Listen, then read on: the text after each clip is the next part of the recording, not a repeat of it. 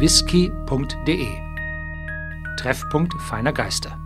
Herzlich willkommen im The Whisky Store, dem Treffpunkt feiner Geister. Und heute nähern wir uns der Krönung äh, der Whiskys mit Altersangabe hier bei Speyside und haben nun den 18-jährigen Speyside auf meinem Fass.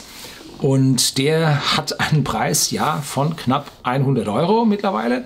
Das war früher für einen 18-Jährigen wäre das überhaupt nicht gegangen. Heute verlangen es viele Leute. Und wenn man dann so eine hohe Ausstattung hat mit dieser tollen Flasche, dicken Glasboden ähm, und dann dazu 46 Volumenprozente, nicht kühl gefiltert, nicht gefärbt, jo, dann kann man da schon was verlangen. Ähm, und die Spacehide Brennerei, von der ich hier die ganze Einführung mal gedreht habe. Schauen Sie sich das doch mal an. Mit der ganzen Geschichte mit der alten Spacehide und der neuen Spacehide Brennerei. Ähm, dann sind diese 18-Jährigen jetzt das, was als ältestes in, ja, sagen wir mal, vernünftigen Stückzahlen aus dieser Brennerei zu haben ist.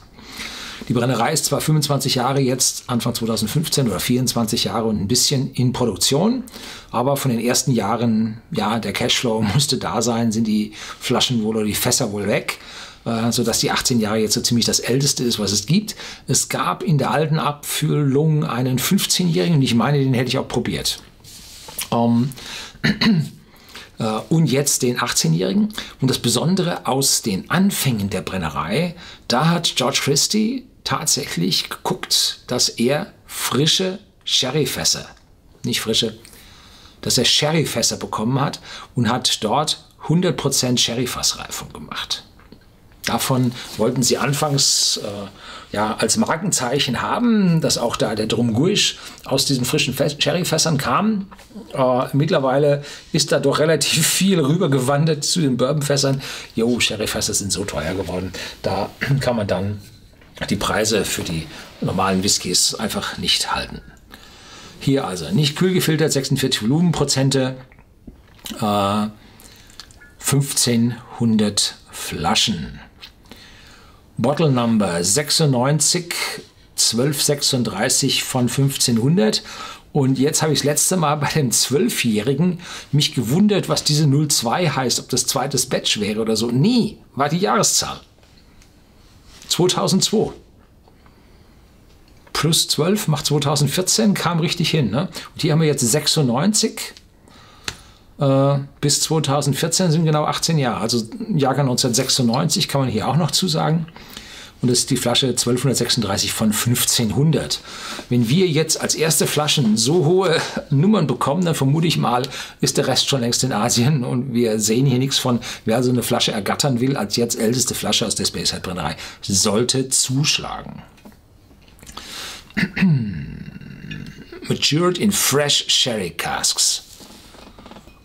18 Jahren frischen Sherryfässer könnte etwas dunkler sein. Also da muss man sich fragen, was waren das für Sherryfässer? Wenn ich mir die Farbe anschaue, würde ich sagen Oloroso. Äh, vielleicht waren das sogar noch Sherryfässer, die also nicht wet abgefüllt wurden, sondern trocken. Und damit nicht ganz so viel Farbe rauskam. Obwohl, wenn man sich das genau überlegt, trocken oder nass sollte da ziemlich wurscht sein, weil die Pigmente ja zurückbleiben, auch wenn das verdunstet. Ne? Wundervolle Farbe. Und jetzt schauen wir mal.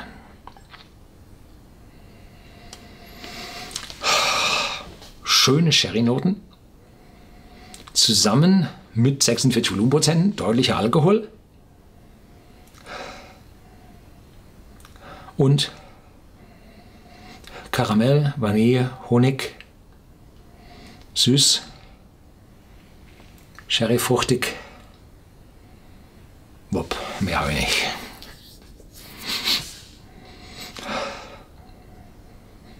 Heißt offiziell noch nussig? Nicht gefunden.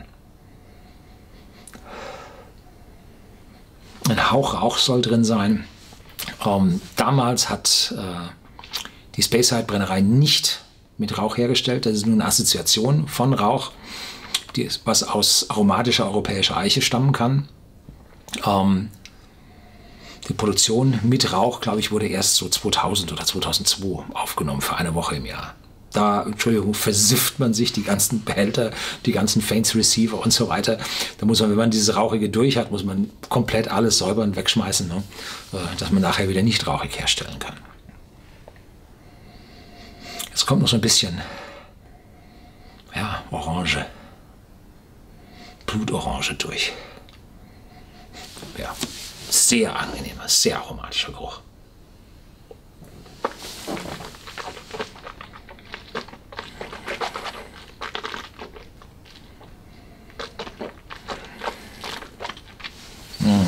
Mhm.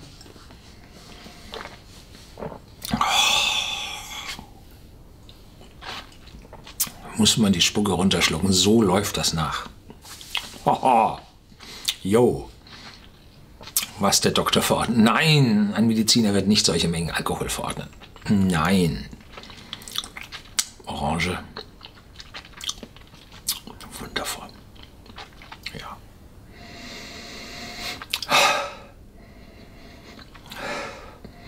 Also richtig, Alter ist aus meiner persönlichen Sicht an dieser oder bei dieser Brennerei durch nichts zu ersetzen. Der Tenet, relativ jung, versucht mit Portwein aufzuladen. Der Zwölfjährige zeigt schon sein Alter und der 18-Jährige brilliert mit Sherryfass und Alter. Ja, haha. Schön.